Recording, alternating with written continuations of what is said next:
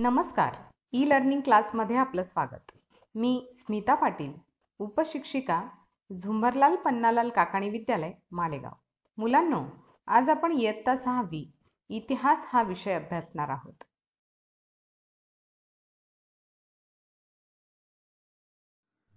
मुलांनो यात पहिलं प्रकरण आहे भारतीय उपखंड व इतिहास. या प्रकरणातील पहिला जो मुद्दा आहे तो आज आपण अभ्यासणार आहोत. इतिहासाची घडण आणि वैशिष्ट्ये.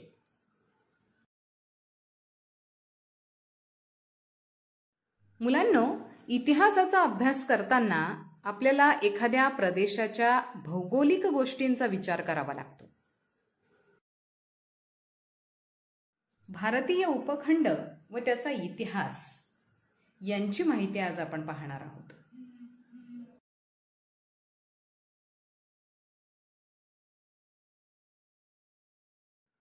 मुलांनो मानव ज्या ठिकाणी राहतो त्या ठिकाणच्या त्याच्या भोवतालच्या परिसराचा त्याच्याशी जवळचा संबंध असतो. आता इतिहास म्हणजे काय हे तुम्ही इयत्ता पाचवीमध्ये सुद्धा अभ्यासलेलं आहे. पण आपण एक उजळणी करूयात की इतिहास म्हणजे काय? तर इतिहास म्हणजे घडून गेलेल्या गोष्टी. भूतकाळातल्या गोष्टी. पूर्वी लोक कसे राहायचे? याची माहिती म्हणजे इतिहास. मुलांना इतिहास म्हणजे फक्त लोकांच्या बाबतीतली घटना नसते. तर इतिहास म्हणजे मानवी संस्कृतीच्या इतिहासात घडलेल्या सर्व प्रकारच्या भूतकालीन घटनांची सुसंगत मांडणी होय तसंच इतिहास म्हणजे एका युगातील दखल घेता येणाऱ्या घटनांची दुसऱ्या युगाने केलेली नोंद होय. तसेच इतिहास म्हणजे मानव जातीच्या जीवन प्रवाहाचा अभ्यास असंही म्हणता येतं.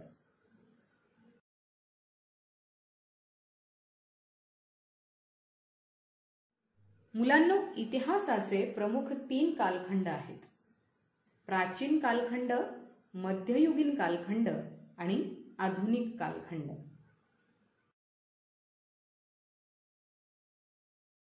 इतिहासाच्या कोणत्याही कालखंडाचा अभ्यास म्हणजे त्या कालखंडाचा राजकीय सामाजिक आर्थिक प्रशासकीय सांस्कृतिक आणि धार्मिक या बाजूंचा अभ्यास असतो.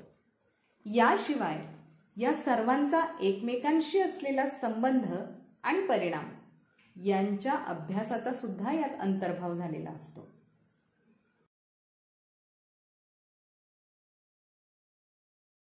मुलांना कोणताही इतिहास समजण्यासाठी आपल्याला पुढील प्रमुख गोष्टींचा आधार घ्यावा लागतो. त्यातली पहिली गोष्ट स्थल दुसरी काल तिसरी व्यक्ती आणि चौथी समाज. हे इतिहासाचे प्रमुख आधारस्तंभ आहेत.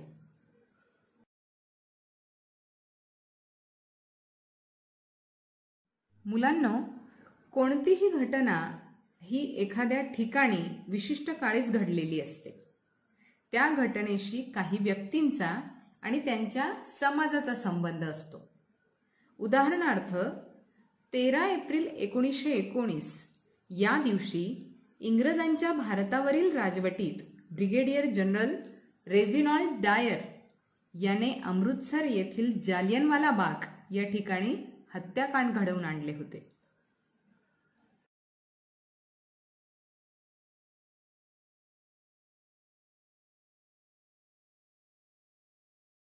मुलांनो इतिहासाच्या आधारस्तंभाचे आपण जे चार प्रमुख घटक पाहिलेत त्यातला पहिला घटक स्थल. स्थल म्हणजे ठिकाण. स्थल हा घटक भूगोलाशी म्हणजेच भौगोलिक परिस्थितीशी जोडलेला असतो. एखाद्या ठिकाणाची परिस्थिती तिथल्या इतिहासावर परिणाम करीत असते.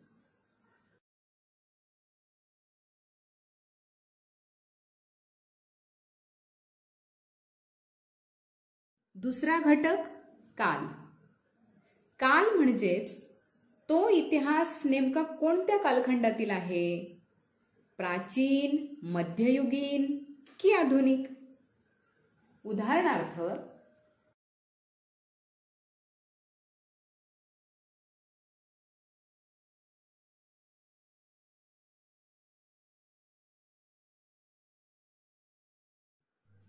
स्वातंत्र्यप्राप्तीचा इतिहास हा आधुनिक काळातील आहे.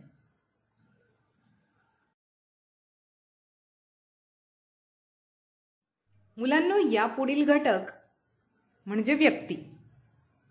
व्यक्ती म्हणजे कोणत्या व्यक्तींचा इतिहास आपण पाहणार आहोत? आता तुम्हाला इथे जे समोर चित्र दिसत आहेत संत ज्ञानदेव संत नामदेव संत तुकाराम संत गजानन यापैकी नेमका कोणत्या व्यक्तीचा इतिहास आपण अभ्यासणार आहोत? हा घटक सुद्धा इतिहासाचा प्रमुख आधारस्तंभ आहे.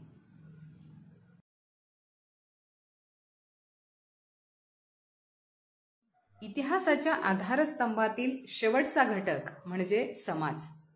मुलांना समाज म्हणजे कोणत्या समाजाचा अभ्यास आपल्याला करायचा आहे? उदाहरणार्थ भारतीय समाज की युरोपियन समाज?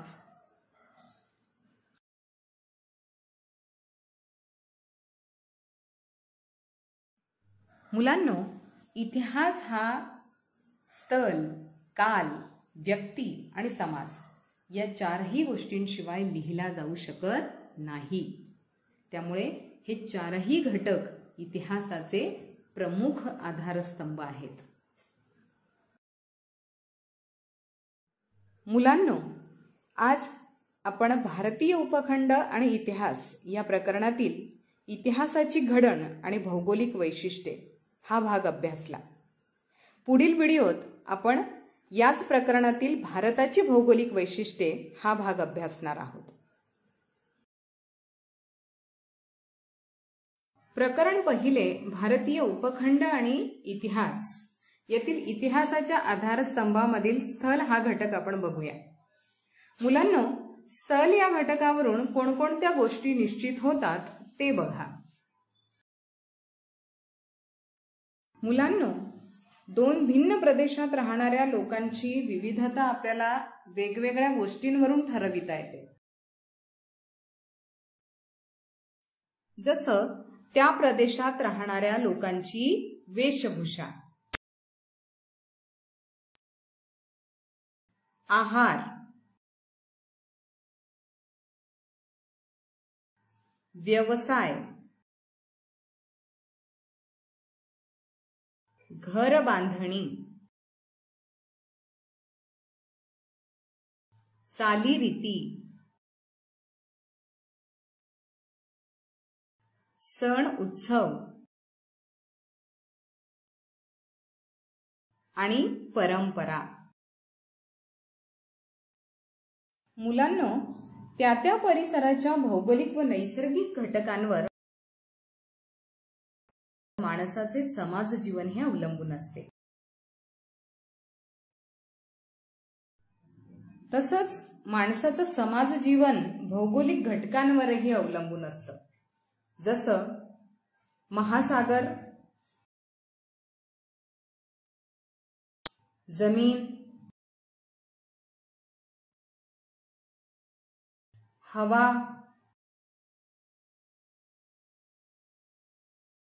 पाणी. वाळवंट.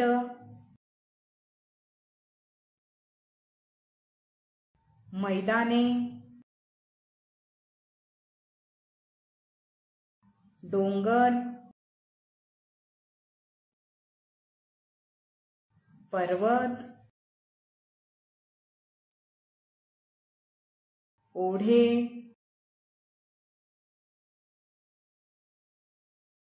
दर्या बेटे आणि घाट. हे सर्वच भौगोलिक घटक आहेत. या सर्वांचा मानवावर व पर्यायाने इतिहासावर परिणाम होत असतो. उदाहरणार्थ डोंगराळ प्रदेशात राहणाऱ्या लोकांचे जीवन हे मैदानी प्रदेशात राहणाऱ्या लोकांपेक्षा अधिक कष्टाचे असते. कारण मैदानी प्रदेश म्हणजे सपाट प्रदेश. तिथे नद्यांनी वाहून आणलेला जो गाळ असतो त्याच्यापासून सुपीक असा मोठा भूप्रदेश तयार होतो. मग मुलांनो आता मला सांगा अशा मैदानी प्रदेशात राहणारा मानव आणि डोंगराळ प्रदेशात राहणारा मानव. यांच्यात काय फरक असेल बरं? मुलांनो पहिला फरक तर घरांच्या बाबतीत आहे. बघा डोंगराळ प्रदेशातील लोकांना उंच सखल जमिनीमुळे घरे व्यवस्थित बांधता येणार नाहीत. शेती करण्यासाठी सपाट जमीन नसल्यामुळे शेती करता येणार नाही. मुलांना या उलट मैदानी प्रदेशातील लोकांची घरं मात्र चांगली असतील. कारण गाळाची जमीन व नद्यातील पाणी यामुळे मैदानी प्रदेशातील लोक शेती करतील. मुलांनो डोंगराळ प्रदेशातील लोकांना शेतजमीन कमी असल्याने तृणधान्ये भाज्या कमी प्रमाणात मिळतात. आणि मग त्याचाच परिणाम त्यांच्या खाण्यापिण्यावर झालेला दिसतो. येथील लोकांना आपली अन्नाची गरज भागवण्यासाठी शिकार व जंगलातून गोळा केलेल्या विविध पदार्थांवर अधिक अवलंबून राहावे लागते. उदाहरणार्थ मध. डिंक औषधी वनस्पती फळे इत्यादी. मुलांना डोंगरी प्रदेशात लोकवस्ती ही तुरळक असते. त्यामुळे दळणवळणाची साधनं सुद्धा अपुरी असतात. डोंगरामुळे संदेश दळणवळण बिनभरवशाचे असते. पण मैदानी प्रदेशात मात्र शेती चांगली असल्यामुळे तृणधान्ये आणि भाज्या हे मुबलक प्रमाणात मिळतात. आणि दळणवळणाची साधनं सुद्धा मोठ्या प्रमाणावर उपलब्ध असतात. अशाच प्रकारचा फरक या दोन्ही प्रदेशात इतर गोष्टींमध्येही आढळतो. मुलांनो आपण ज्या ठिकाणी राहतो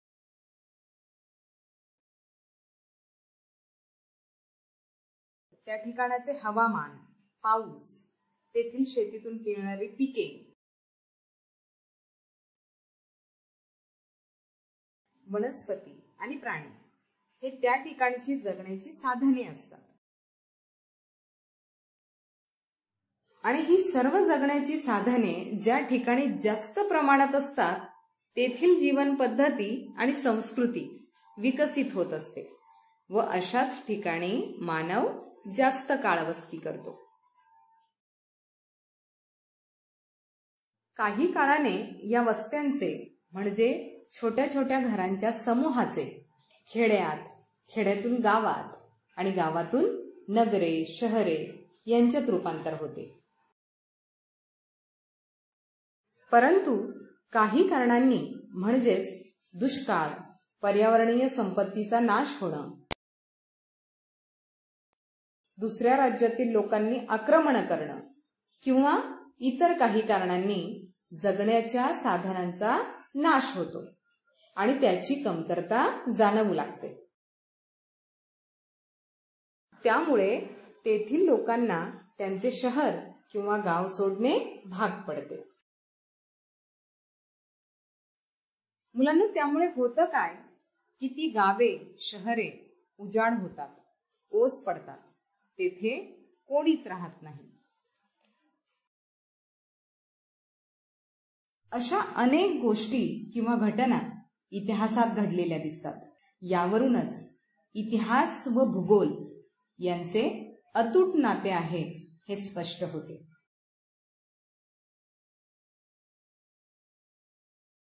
आपण भारतीय उपखंड व इतिहास या पहिल्या प्रकरणातील भारताची भौगोलिक वैशिष्ट्ये अभ्यासणार आहोत.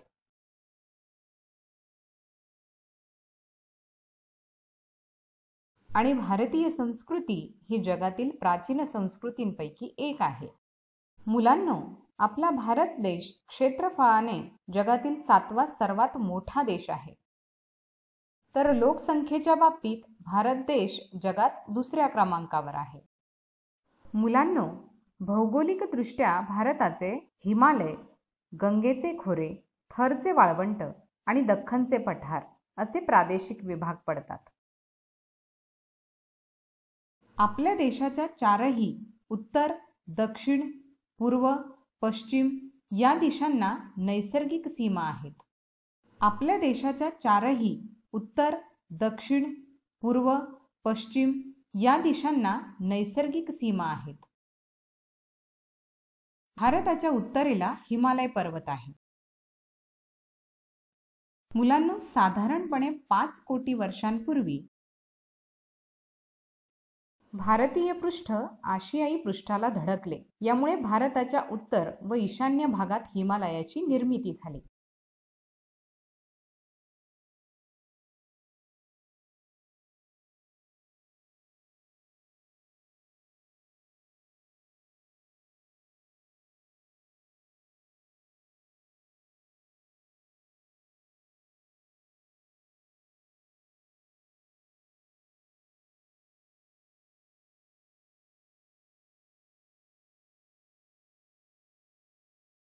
मुलांनो भारताच्या पूर्वेला बंगालचा उपसागर आहे.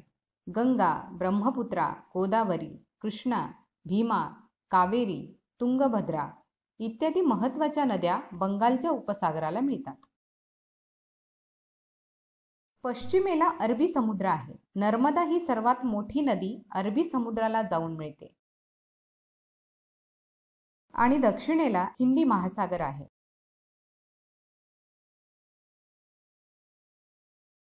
भारताची अंदमान निकोबार आणि लक्षद्वीप ही बेटे सोडली तर उरलेला सर्व प्रदेश हा भौगोलिकदृष्ट्या सलग आहे. मुलांनो आज आपल्या शेजारील दोन देश म्हणजे पाकिस्तान आणि बांगलादेश हे दोनही देश भारत स्वतंत्र होण्यापूर्वी म्हणजेच पंधरा ऑगस्ट एकोणीसशे सत्तेचाळीस पूर्वी भारताचाच भाग होते.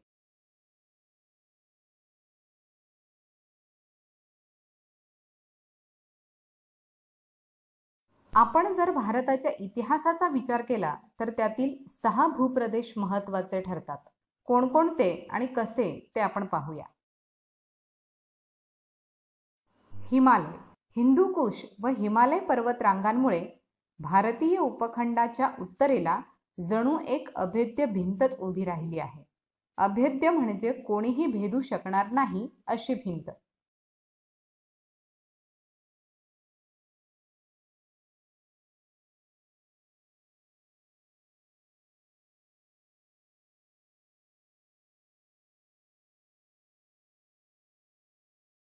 या भिंतीमुळेच भारतीय उपखंड हा मध्य आशियातील वाळवंटापासून वेगळा झाला आहे.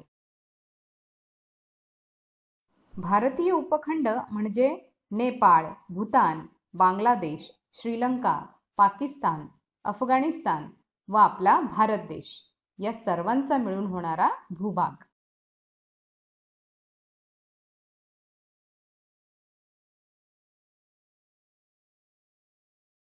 मुलांनो हिंदूकुश पर्वतामध्ये खैबर व बोलन या दोन खिंडी आहेत. आणि या खिंडींमधून जाणारा खुशकीचा व्यापारी मार्ग आहे.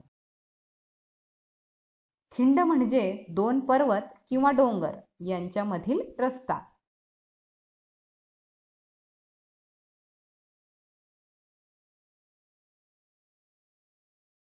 तर हा मार्ग मध्य आशियातून जाणाऱ्या प्राचीन व्यापारी मार्गाशी जोडला गेला होता. चीनमधून निघून मध्य आशियातून अरबी प्रदेशापर्यंत जाणारा हा व्यापारी मार्ग रेशीम मार्ग म्हणून ओळखला जातो. कारण ऐतिहासिक काळात चीनमध्ये मोठ्या प्रमाणावर सुरू असणाऱ्या रेशमाच्या व्यापारावरून या मार्गास हे नाव पडले. तसेच याच मार्गावरून पश्चिमेकडील देशात म्हणजे इंग्लंड फ्रान्स जर्मनी इटली या देशात पाठवल्या जाणाऱ्या मालात रेशीम हे प्रमुख होते.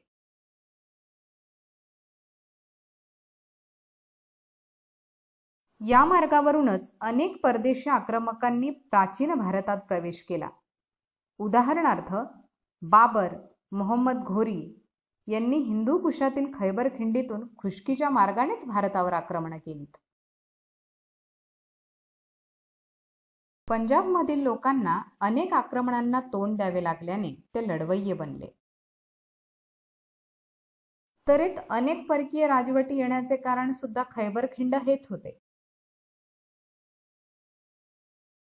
हा आहे इतिहास व भूगोल यांचा संबंध. हिमालय ही आशिया खंडात पसरलेली जगातील सर्वात उंच पर्वतरांग आहे. संस्कृत भाषेत हिम म्हणजे बर्फ आणि आलय म्हणजे घर. हिमालय म्हणजे जेथे बर्फ असते ते ठिकाण ते स्थान.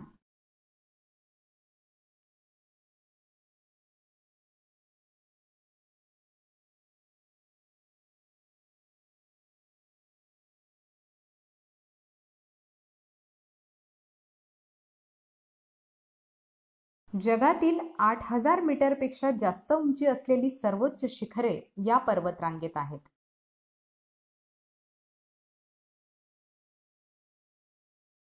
माउंट एव्हरेस्ट हे सर्वोच्च शिखर असून त्याची उंची आठ हजार आठशे अठ्ठेचाळीस मीटर इतकी आहे. मुलांनो हिमालयात अनेक नद्या उगम पावतात. गंगा ब्रह्मपुत्रा सिंधू या हिमालयातील महत्त्वाच्या नद्या आहेत.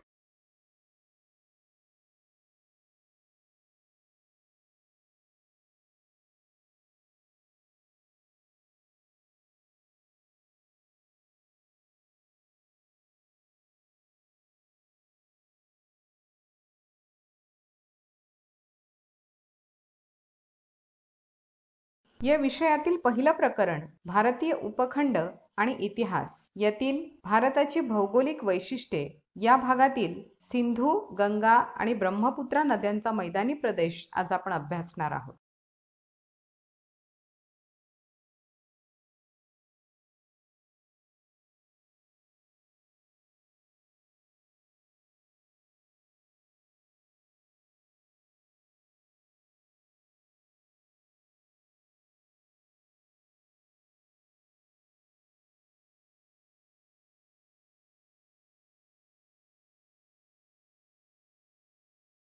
मुलांनो गंगा यमुना सरस्वती ब्रह्मपुत्रा गोदावरी कृष्णा या भारतातील प्रमुख नद्या आहेत. या नद्यांपैकी गंगा यमुना सरस्वती व सिंधू या भारताच्या उत्तर पठारावरील नद्या आहेत. तर गोदावरी कृष्णा या दक्षिण पठारावरील नद्या आहेत. या नद्यांनी व त्यांच्या उपनद्यांनी वाहून आणलेल्या गाळाच्या प्रदेशाला व त्यांच्या खोऱ्याच्या प्रदेशाला मैदानी प्रदेश असे म्हणतात.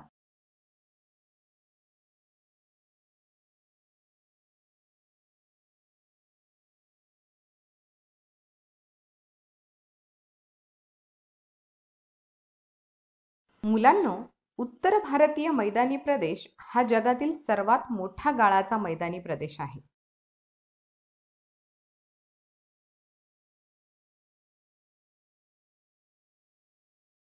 पश्चिमेकडील सिंधू नदीच्या मुखापासून पूर्वेकडील गंगा नदीच्या मुखापर्यंत साधारणत तीन हजार दोनशे किलोमीटर पसरलेला हा मैदानी प्रदेश आहे.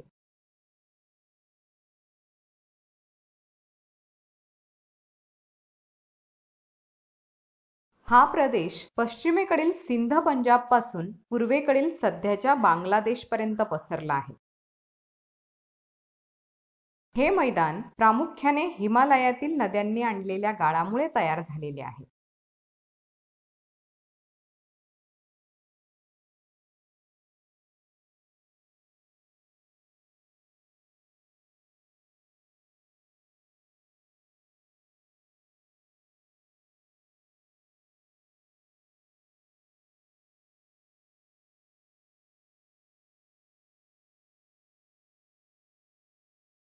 तसेच हा प्रदेश हिमालय पर्वताच्या दक्षिणेला आणि दख्खनच्या पठाराच्या उत्तरेला पसरलेला आहे.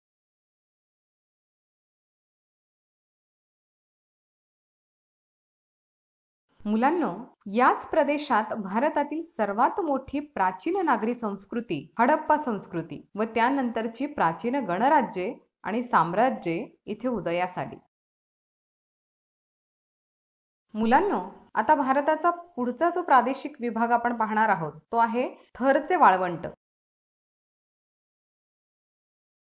मुलांना थरचे वाळवंट हे दोन लाख चौरस किलोमीटर क्षेत्रफळाचे आहे. हे वाळवंट आकारमानाने जगातील सातव्या आणि आशियातील तिसऱ्या क्रमांकाचे वाळवंट आहे.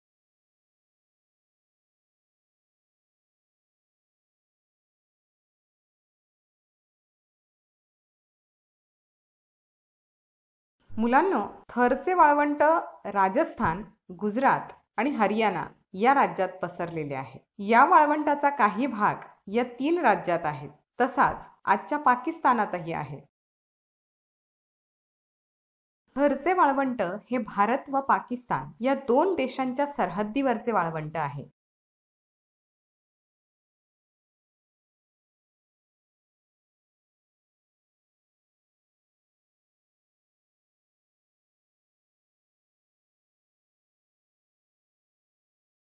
मुलांनो या वाळवंटाच्या उत्तरेला सतलज नदी पूर्वेला अरवली पर्वताच्या रांगा दक्षिणेला कच्छचे रण आणि पश्चिमेला सिंधू नदी आहे.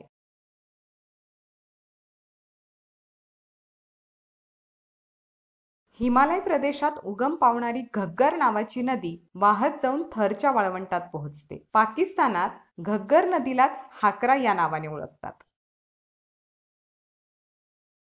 मुलांनो राजस्थान व पाकिस्तान मधील तिचे पात्र पाणी नसल्यामुळे मात्र आता कोरडे पडले आहे. याच कोरड्या पात्राच्या प्रदेशात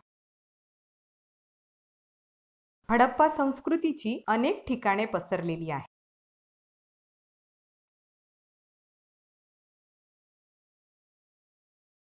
या विषयातील पहिलं प्रकरण भारतीय उपखंड आणि इतिहास यातील दख्खनचे पठार आणि समुद्र किनाऱ्यांचे प्रदेश. हे प्रादेशिक विभाग अभ्यासणार आहोत.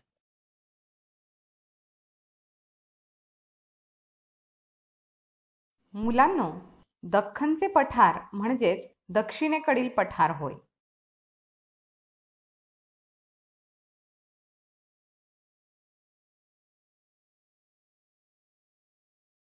या पठाराच्या पूर्व बाजूस पूर्व किनारा आणि दुसऱ्या बाजूस पश्चिम किनारा आहे.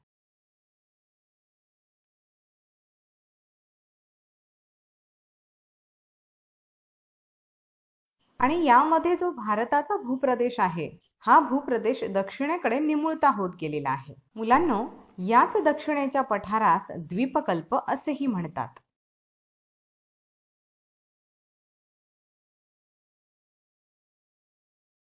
कारण याच्या पश्चिमेला अरबी समुद्र दक्षिणेला हिंदी महासागर आणि पूर्वेला बंगालचा उपसागर आहे.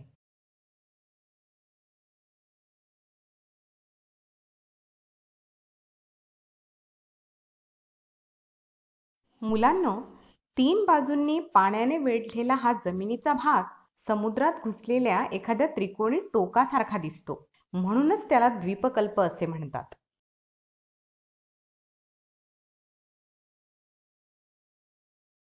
भारतीय द्वीपकल्पाचा बहुतांश भाग हा दख्खनच्या पठाराने व्यापला आहे.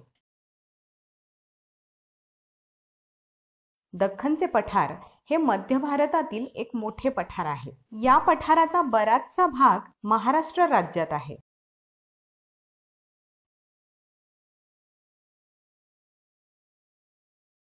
मुलांनो दख्खन पठाराच्या उत्तरेकडे सातपुडा व विंध्य पर्वतांच्या रांगा पसरलेल्या आहेत. या पठाराच्या पश्चिम दिशेला सह्याद्रीच्या पर्वतरांगा आहेत. त्यालाच पश्चिम घाट असेही म्हणतात.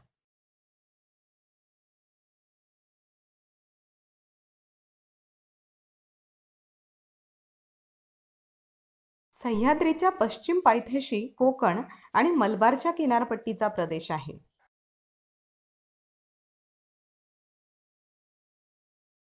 दख्खन पठाराच्या पूर्वेकडील डोंगरांना पूर्व घाट असे म्हटले जाते.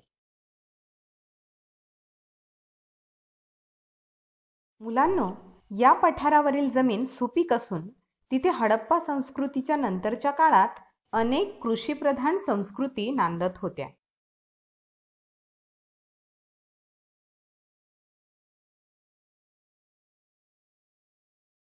पश्चिम घाट आणि पूर्व घाट या दख्खनच्या पठाराच्या सीमा आहेत.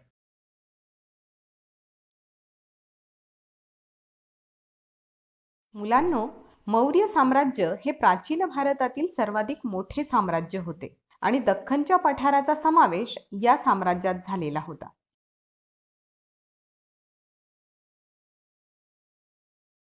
मौर्य साम्राज्यानंतरही या ठिकाणी अनेक छोटी मोठी साम्राज्ये होऊन गेली.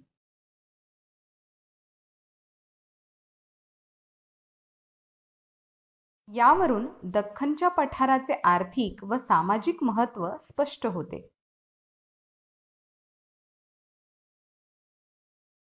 समुद्र किनाऱ्यांचे प्रदेश.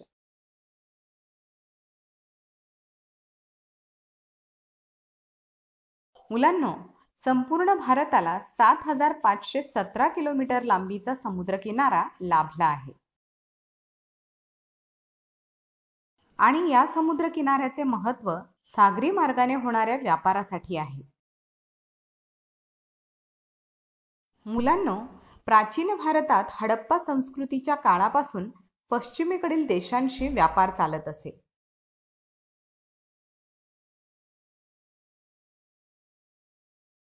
हा व्यापार सागरी मार्गाने केला जाईल. त्यामुळे भारतातील समुद्रकिनाऱ्यांवरील बंदरातून परदेशातील संस्कृतींशी आणि लोकांशी भारताचा संपर्क आणि देवाणघेवाण होत असे. तसेच वस्तूंची व विचारांची देवाणघेवाण होत असे. मुलांनो आता तुम्हाला प्रश्न पडेल बंदर म्हणजे काय? बंदर म्हणजे जमिनीत घुसलेला समुद्राचा भाग.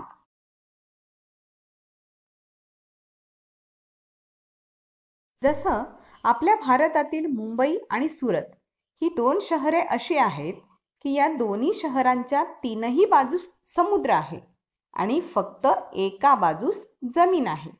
म्हणून सुरत आणि मुंबई ही दोन्ही शहरे बंदरे म्हणून ओळखली जातात.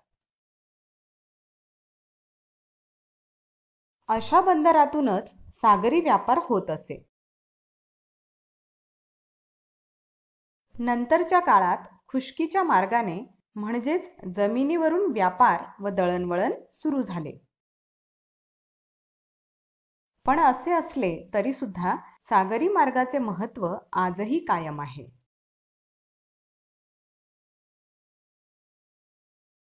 या विषयातील पहिलं प्रकरण भारतीय उपखंड आणि इतिहास. यातील समुद्रातील बेटे हा शेवटचा प्रादेशिक विभाग पाहणार आहोत. मुलांनो चारही बाजूंनी वेढलेला जमिनीचा भाग म्हणजे बेट होय.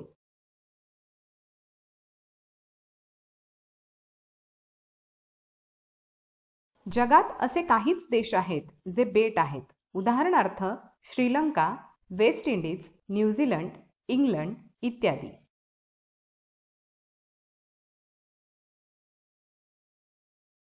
भारतातही अशी बेटे आहेत. प्रामुख्याने त्यांचे दोन भाग पडतात. पहिला भाग बंगालच्या उपसागरातील अंदमान आणि निकोबार बेटे.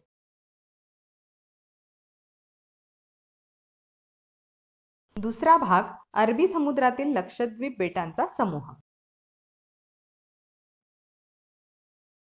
मुलांनो अंदमान बेटावर असलेले पोर्ट ब्लेअर हे शहर अंदमान आणि निकोबार बेटांची राजधानी आहे.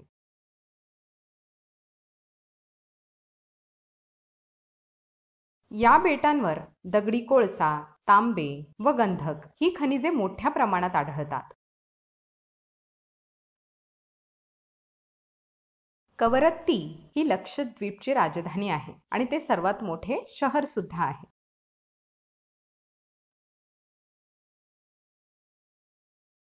कवरत्ती येथे फॉस्फेट कॅल्शियम कार्बोनेट ही प्रमुख खनिजे आढळतात. मुलांनो प्राचीन काळी व्यापारासाठी या बेटांचे खूप महत्त्व होते. त्यामुळे जुन्या ग्रंथांमध्ये त्यांचे उल्लेख आढळतात. Periplus of the Erythraean sea म्हणजे तांबड्या समुद्राचे माहिती पुस्तक.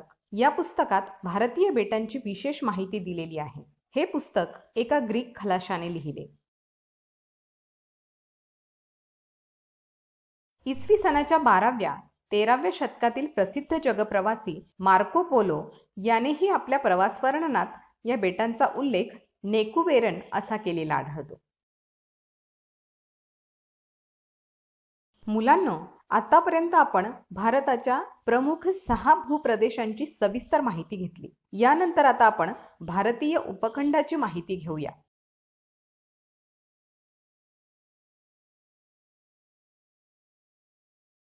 भारतीय उपखंड.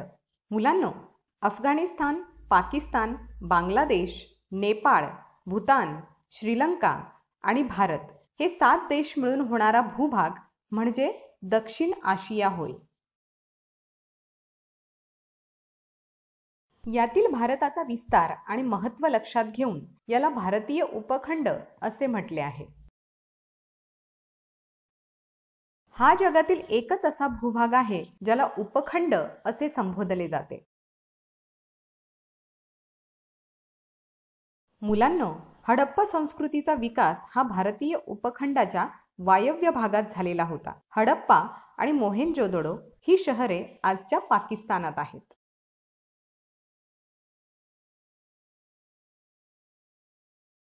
चीन आणि म्यानमार हे जरी आपले शेजारी देश असले तरीही त्यांचा समावेश दक्षिण आशिया किंवा भारतीय उपखंडात होत नाही. असे असूनही प्राचीन भारताशी त्यांचे जुने ऐतिहासिक संबंध हे होतेच. म्हणूनच प्राचीन भारताच्या इतिहासाचा अभ्यास करताना त्यांचा संबंध हा येतोच.